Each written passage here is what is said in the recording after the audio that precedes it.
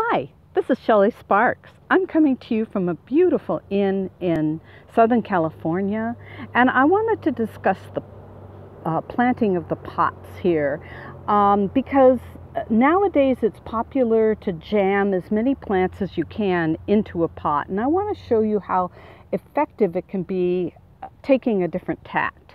So here uh, you can see this this pot is planted with uh, ivy geraniums which cascade down over the edge and provide lots of color. And it is a consistent theme in the pots all the way up uh, up the walkway.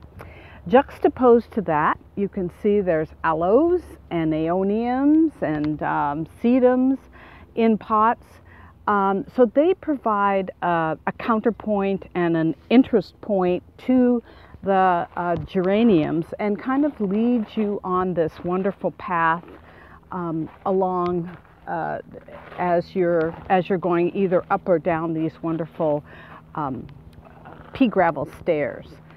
Um, so I, I want to encourage you to think about planting pots in a more consistent manner because you can really do um, an interesting theme um, and provide interest and allow and yet allow things to be uh, understated and elegant by planting pots in a very uniform and consistent manner.